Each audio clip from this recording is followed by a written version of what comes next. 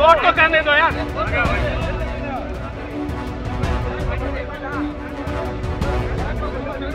आप लोग हिला दोगे तो मैं क्या शॉट बनाऊँगा नहीं, बात का होता है।